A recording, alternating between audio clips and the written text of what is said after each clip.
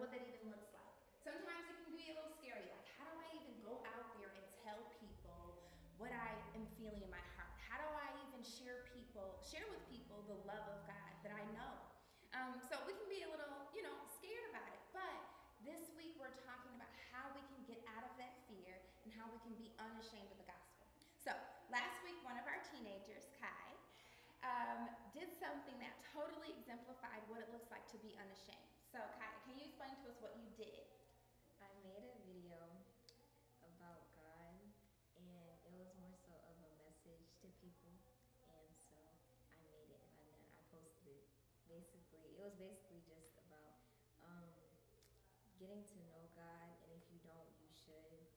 And um, basically about like getting saved and stuff, like, cause it can like change your life and stuff.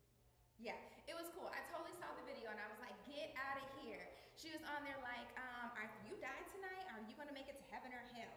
You need to check with Jesus. And I was like, yes! It was so cool to watch it. Um, it totally was posted on her own Instagram, but I reposted it on my personal page.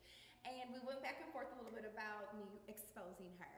But I was just so proud of the fact that she was getting out of her own comfort zone and exposing who God was and sharing the gospel and being unashamed about it. So she posted it on TikTok, then it was reposted on Instagram. Um, but so I want to know from you what gave you the courage or what even made you do something like that? Just something told me to. yeah. So you felt like it was like it was God was telling you like I need to put this out there. Yeah, basically. That's good. Okay, well I challenge you guys this week to um, get outside of your comfort zone and be unashamed. Hashtag unashamed life. Be unashamed of the gospel. Um, and whether it's a t-shirt, whether it's you reposting on TikTok or Instagram, or whether it's you just going outside and screaming, I love Jesus. Find a way to be unashamed, and I want you to document it and share it with us, all right? Well, I hope you guys have an awesome week, and um, let's be out here and be unashamed.